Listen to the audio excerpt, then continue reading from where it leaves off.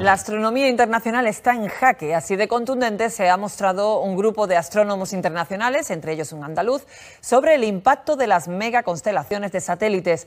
Durante este año han estado calculando cómo influyen en las observaciones de los centros astronómicos de todo el mundo. Este será el aspecto de nuestro planeta en 2029 si se ponen en órbita todos los satélites previstos por las multinacionales. Y así se ven los Starlink de SpaceX en el cielo nocturno, tan brillantes como las estrellas.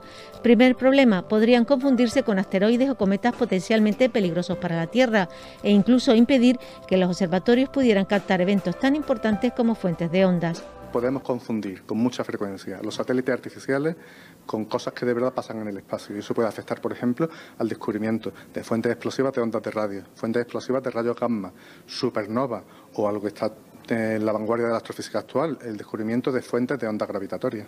Y así se ven en imágenes tomadas en los observatorios. El estudio promovido por la Sociedad Americana de Astronomía señala que habría que desarrollar un programa para evitar los satélites durante las observaciones. Calcular de antemano por dónde van a pasar los satélites para apuntar allá donde no estén y evitar así su impacto. Este desarrollo de programa es complejo y caro, pero entendemos desde la comunidad astronómica que el coste de desarrollo e incluso económico debe recaer en el lado de las empresas que lancen los satélites.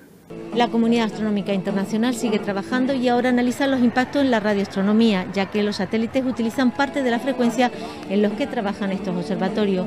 Aquí uno de los perjudicados podría ser la antena situada en Sierra Nevada, una de las piezas que consiguió la primera foto de un agujero negro, o el SCA, el mayor radiotelescopio del y en el que participa el Instituto de Astrofísica de Andalucía.